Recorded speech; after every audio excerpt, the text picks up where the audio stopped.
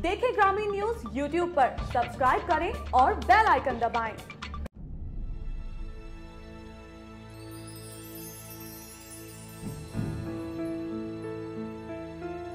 कांग्रेस द्वारा लागू की गई इमरजेंसी को आज तैतालीस साल पूरे हो चुके हैं, जिसके चलते भाजपा ने 25 और 26 जून को पूरे देश में इसे ब्लैक डे की तरह मनाने का फैसला किया है। बता दें कि तत्कालीन प्रधानमंत्री इंदिरा गांधी ने साल 1975 में इस इमरजेंसी को लागू किया था, जिसके विरोध में भाजपा सरकार आज और कल ब्लैक डे मनाएगी। जानकारी के मुताबिक बीजेपी इस ब्लैक डे के बहाने कांग्रेस को घेरने की तैयारी में है। पच्चीस जून यानी आज भाजपा देश भर में ब्लैक डे मनाएगी और छब्बीस जून को बीजेपी एक साथ कांग्रेस के खिलाफ पूरे देश में प्रेस कॉन्फ्रेंस करेगी। खबरों की माने तो प्रेस कॉन्फ्रेंस के ज़रिए बीजेपी के मंत्री कांग्रेस पर हमले की तैयारी में हैं। इसी के साथ भाजपा मंत्री अमित शाह 26 जून को गुजरात में प्रेस कॉन्फ्रेंस करने वाले हैं। आपको बता दें कि इस बार बीजेपी पूरी राजनीति के साथ इमरजेंसी के खिलाफ मैदान पर उतरने की तैयारी कर चुकी है। पच्चीस मई उन्नीस में राष्ट्रपति फखरुद्दीन के हस्ताक्षर के बाद से ही देश में आपातकाल लागू कर दिया गया था। बता दें कि इस आपातकाल के दौरान 26 जून की सुबह तक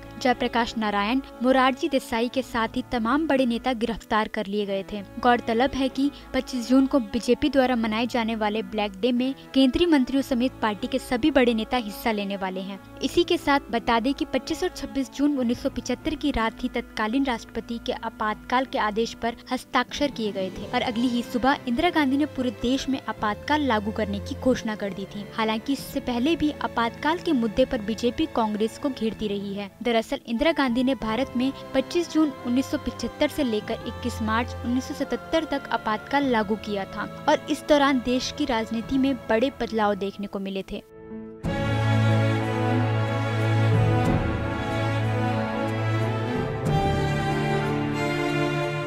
देखिए ग्रामीण न्यूज़ यूट्यूब पर भी, बस सब्सक्राइब करें और बेल आइकन दबाएँ।